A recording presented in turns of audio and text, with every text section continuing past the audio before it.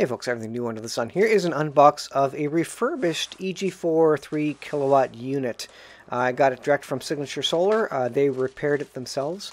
It comes with all the standard stuff, the uh, DC breaker, comes with a little Wi-Fi dongle, which I probably won't be using, and, uh, and of course the unit itself. And then under it, we do get the regular manual. This is, you know, if you've got a 3 kilowatt unit before, you'll, you'll get this. Um, this one's been folded over. Looks like someone's used it before, which is expected for a refurbished unit. You get your Ethernet cable for communication, and uh, I think there are about uh, six foot uh, uh cables there. And then this uh, sheet of paper is an RMA sheet uh, saying what was fixed. So there was actually rectifiers replaced in this particular unit when it went back to Signature Solar. So they include that as well, what was actually replaced or fixed on the particular unit. So that's interesting.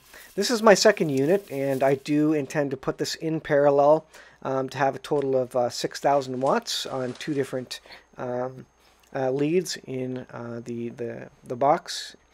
Now, in terms of what this looks like, there are some scuffs not, that you can see, but some light scuffs. Uh, you can see that there is some light use on this unit. It's not dusty or anything. They probably white gave it a wipe down.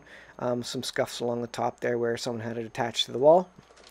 Uh, everything else looks uh, pretty much mint condition. It's got the, the void if removed tag, although it's not really stuck across um, the, the, bottom case.